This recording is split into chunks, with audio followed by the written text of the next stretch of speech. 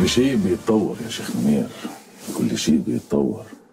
يعني زمان مثلا كان أمير المؤمنين الملا عمر كان ممكن يحكم من غير ما واحد ياخد له صورة فوتوغرافية ولا قناة تسجل معاه. دلوقتي لا. دولة الخلافة لازم يبقى عندها وزارة إعلام وصحف وقنوات وتواجد قوي على النت كمان. كل شيء بيتطور. وفي ظني إن الفقه والأمور الشرعية كمان لازم تتطور. آه طبعا بس في ثوابت. طبعا بس برضه لازم نتطور. عايزين نبدأ ندور على شباب ليهم علاقة بالتكنولوجيا والعلوم الحديثة. شباب عندهم إيمان وعلوم حديثة. بلاش نركز على حكاية العلوم الشرعية وبس. تمام يا مولاي. يعني لو شاب مثلا عنده دراية كده بالعلوم الحديثة والتكنولوجيا وعنده لغات هيبقى أنفع وأهم من شاب تاني أكثر تدينا بس بشرط يكون الاتنين عندهم الحد الأدنى من الإيمان. بس المهم الإخلاص. إخلاص الشاب المتعلم أهم وأنفع من الشاب قليل العلم. بس قلة العلم بتخلي إقناعهم بالعمليات الاستشهادية أسهل. خلاص.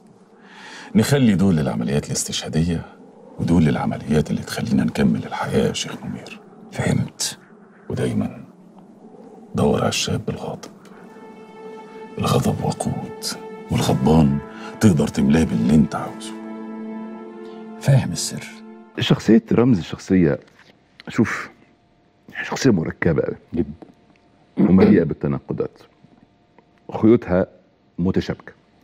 السؤال فكيت رموز وشفرة الشخصية إزاي عشان تعملها بهذا الإتقان وهذه البراعة خناقة. ابتدت بأفكار آه، رافضها كتير جدا من أفكار رمزي وال material الكتير اللي أنا اتفرجت عليه مع إنه يعني كل ال material اللي أنا اتفرجت عليه ما كانش كتير كان قليل. حتى اللي اتكتب عنهم ما كانش كتير خالص. أنت قلت لي أربع شخصيات. شكري مصطفى أبو بكر البغدادي أسامة بن لادن البنا. البن أنت بقى فكيت الشفرة إزاي عشان تقدر تعمل؟ وفي الآخر أنت رسمت شخصية خمسة. مظبوط. يعني في الآخر رمزي ده شخصية خمسة. مظبوط. ممكن يكون فيها آه، قواسم أفكار لكن رمزي شخصية خمسه ولا واحد. منهم؟ لا لا لا شخصية خمسه يعني رمزي يعني في ناس شافت إن رمزي أقرب جدا أن يكون أسامة بن لادن. وفي المرحلة لأن الاخيره هو شكلا مظبوط. تشوف الصورة دي ولبسا. ولبسا و- نقول أسامة بن لادن مظبوط. مثلا. الصورة اللي بعد كده آه. المرحلة اللي بعد كده أنت هتشوف بغدادي. بالأسود. بالأسود. باللبس الأسود. مظبوط. مظبوط. واللي قبل كده هتشوف آه، شكري مصطفى في الدقن الخفيفة.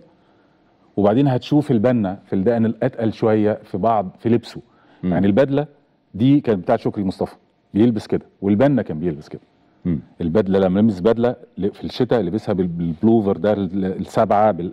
قربنا من كل الحاجات الحقيقة وليلى ماجد الستايلست عملت مجهود غير عادي في الحكاية. دي بينهم عامل مشترك مم. لأن النبع واحد ف والهدف واحد بيختلف شوية تسلسل الجماعات دي من ساعة لما ظهرت آه، الإخوان وبعدين بقى التكفير والهجرة وبعدين بقى مش من حقك تكفر ولا تهاجر من حقك تهاجر هو لكن كان المسلسل بيفكرني باختراق. أنا كنت عامل أرشفة للتاريخ ال- الجماعات الإسلامية في مصر من فترة طويلة جدا الحقيقة. فواضح إن كنتوا كنتوا عاملين توثيق. يعني واضح إن عبد الرحيم كمال كان عامل توثيق دوكيومنتيشن للموضوع. الحقيقة. آه خصوصا لما اتكلمتوا عن آه، الفنية العسكرية ومقتل الشيخ الذهبي وغيره يعني. طبعا. خبر إيه؟ هو إيه اللي حصل؟ الشيخ الذهبي اتقتل. الشيخ الذهبي اتقتل؟